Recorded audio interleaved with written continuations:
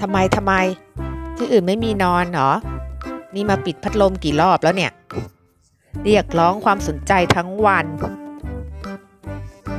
อ้วนอึมนะคะ ช่วงนี้เป็นแมวขี้ฉา ถ้าเราไม่สนใจเขา เขาก็จะมานอนทับพัดลมนะคะ เพื่อให้พัดลมปิด วันนี้เป็นรอบที่ 5 แล้วค่ะ ไล่ไปก็ไปแป๊บหนึ่งแล้วเดี๋ยวก็กลับ พอเราไปเปิดนะคะ ก็ทำหน้าไม่พอใจนะคะ เดี๋ยวจะให้ไปอยู่นอกบ้านแล้วให้ไปซนนอกบ้าน